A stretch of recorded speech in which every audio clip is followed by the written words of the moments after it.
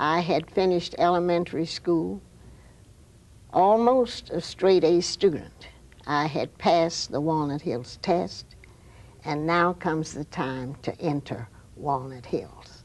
My father took me over there, and the counselor mapped out my program for the year. Said we're going to put her in a home ec course. and there was nothing wrong with learning how to cook and sew. I really needed a home ec course.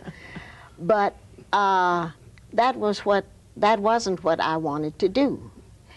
And when we found out the bottom line, she was preparing me for life after high school. As a domestic. And my life after high school was to be a domestic Right.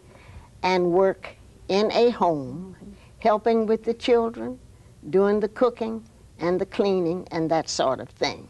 When she found out that both my parents were college graduates, both of them were professionals, she, it still didn't dawn on her that she didn't have to prepare me for life after high school eh, as a domestic.